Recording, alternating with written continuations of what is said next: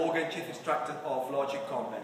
We're going to demonstrate a technique of combat Dutch Muay Thai. We have moved away from the sport rules and we made the system into a street survival tool. Okay? So look what happened now. Okay. I start with a normal kickboxing technique, okay? Jab, jab, cross, he gives me a jab, I skip, I give a cross, I give a knee. Okay, that's kickboxing, beautiful. Now, my opponent throws me a jab, okay? What I'm gonna do? I brush here with the front hand, okay? The opposite hand, lock it in. Now please move away, move the other side, over the side please. Once, I, once I'm in this position, once I'm in this position, look what happened. This is a block. This arm goes under my armpit.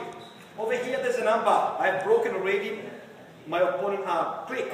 Okay? And now I follow into judo. And I apply a Tai Otoshi. Bring the legs forward and then drop the knee. Now look what happened here.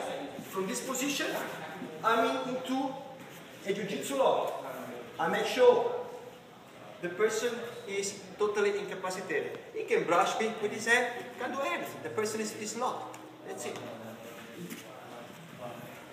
One more time. One more time.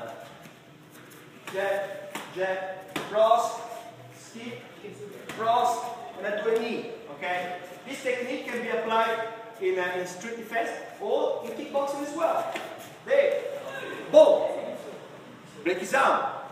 Come forward. Drop it. Taiotoshi. You can't do anything. And if I want, one arm is locked, the opposite arm is ready for a nice armbar. Also, typical of judo, Hon Kesa Gatame. Thank you guys. We'll see you in the next episode.